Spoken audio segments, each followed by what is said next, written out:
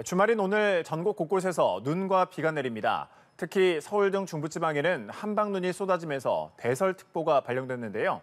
도로가 빙판으로 변할 걸로 보여 미끄럼 사고가 우려됩니다. 김재용 기자입니다. 올해 마지막 주말 중부를 중심으로 한방눈이 펑펑 쏟아지고 있습니다.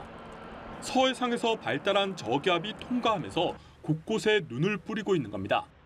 서울과 경기 북동부, 강원 일부 지역에는 시간당 1에서 3cm의 강한 눈이 집중되면서 대설특보도 발령됐습니다.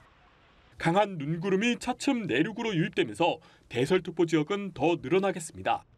내일까지 강원 산지에 최대 20cm, 경기 동부 2에서 7cm, 서울과 충청, 경북 북부에도 1에서 5cm의 많은 눈이 쌓이겠습니다. 연말 연휴에 이동량이 많은 가운데 빙판길과 도로 살얼음 등이 예상되는 만큼 미끄럼 사고에 각별한 주의가 필요합니다.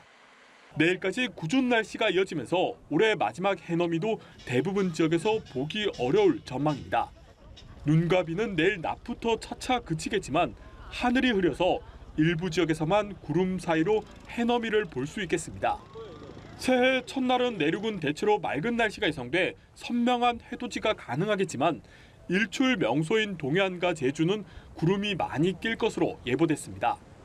특히 기상청은 동해안으로는 너울성 파도도 밀려들겠다며 해돋이객은 안전사고에 주의해 줄 것을 당부했습니다. 연합뉴스 TV 김재훈입니다.